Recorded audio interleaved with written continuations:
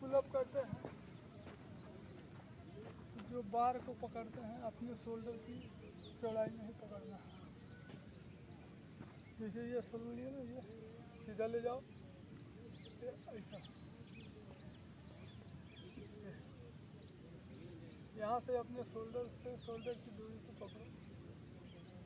फिर पुलअप लगाना शुरू करो।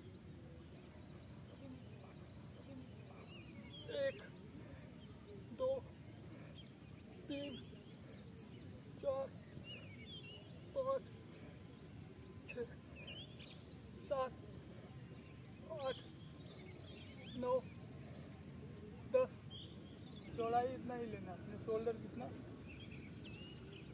तब जाके सही पुलअप लगेगा। मारने का ये है। ये। पकड़िए फिर ऊपर जाके।